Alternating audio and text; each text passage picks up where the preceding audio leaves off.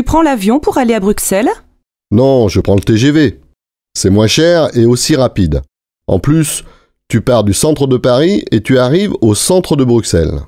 Vous les Français, vous prenez souvent le train. Bien sûr, avec le TGV, tu peux aller à Londres, à Marseille, à Bordeaux et faire l'aller-retour dans la journée. Et pour aller plus loin, vous prenez l'avion? Oui, mais tu sais, pendant les vacances, beaucoup de gens font du tourisme en France.